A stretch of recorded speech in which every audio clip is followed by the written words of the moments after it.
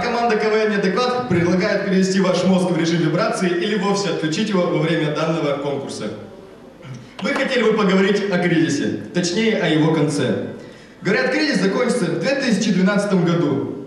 По окончании кризиса по всему миру пройдет всемирная масленица. Такие, ну, как бы гуляния. Где будут э, подаваться блины с красной и с черной икрой.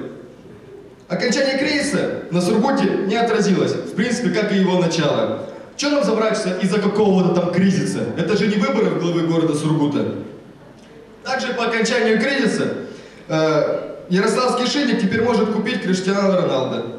Только по частям и в рассрочку на 198 лет.